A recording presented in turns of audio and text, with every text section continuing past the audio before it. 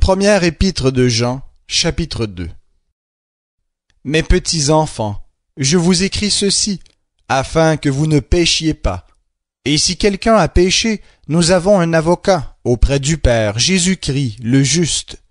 Il est lui-même victime expiatoire pour nos péchés, non seulement pour les nôtres, mais aussi pour ceux du monde entier. À ceci nous reconnaissons que nous l'avons connu, si nous gardons ses commandements. Celui qui dit Je l'ai connu et qui ne garde pas ses commandements est un menteur, et la vérité n'est pas en lui. Mais celui qui garde sa parole, l'amour de Dieu est vraiment parfait en lui. À ceci nous reconnaissons que nous sommes en lui. Celui qui déclare demeurer en lui doit marcher aussi comme lui, le Seigneur, a marché. Bien-aimés, ce n'est pas un commandement nouveau que je vous écris, mais un commandement ancien, que vous avez eu dès le commencement. Ce commandement ancien, c'est la parole que vous avez entendue. D'autre part, c'est un commandement nouveau que je vous écris. Ceci est vrai pour lui et pour vous, car les ténèbres passent et la lumière véritable brille déjà. Celui qui prétend être dans la lumière tout en haïssant son frère est encore dans les ténèbres. Celui qui aime son frère demeure dans la lumière et ne risque pas de tomber. Mais celui qui a de la haine pour son frère est dans les ténèbres. Il marche dans les ténèbres, et il ne sait où il va, parce que les ténèbres ont rendu ses yeux aveugles. Je vous écris, petits enfants, parce que vos péchés vous sont pardonnés à cause de son nom. Je vous écris, Père, parce que vous avez connu celui qui est dès le commencement. Je vous écris, jeunes gens, parce que vous avez vaincu le malin. Je vous ai écrit, jeunes enfants, parce que vous avez connu le Père. Je vous ai écrit, Père, parce que vous avez connu celui qui est dès le commencement.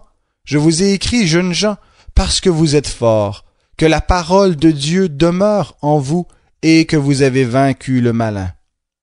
N'aimez pas le monde, ni ce qui est dans le monde. Si quelqu'un aime le monde, l'amour du Père n'est pas en lui. Car tout ce qui est dans le monde, la convoitise de la chair, la convoitise des yeux et l'orgueil de la vie ne vient pas du Père, mais vient du monde. Et le monde passe, et sa convoitise aussi, mais celui qui fait la volonté de Dieu demeure éternellement. Jeunes enfants, c'est l'heure dernière.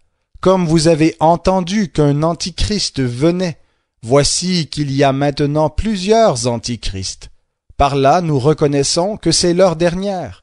Ils sont sortis de chez nous, mais ils n'étaient pas des nôtres, car s'ils avaient été des nôtres, ils seraient demeurés avec nous. Mais de la sorte, il est manifeste que tous ne sont pas des nôtres. Vous-même, vous avez une onction de la part de celui qui est saint, et tous vous avez la connaissance. Je vous ai écrit non parce que vous ne savez pas la vérité, mais parce que vous la savez, et parce qu'aucun mensonge ne vient de la vérité. Qui est le menteur, sinon celui qui nie que Jésus est le Christ? Celui-là est l'Antichrist, qui nie le Père et le Fils. Quiconque nie le Fils n'a pas non plus le Père. Celui qui confesse le Fils a aussi le Père.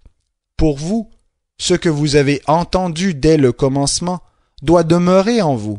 Si ce que vous avez entendu dès le commencement demeure en vous, vous demeurez vous aussi dans le Fils et dans le Père.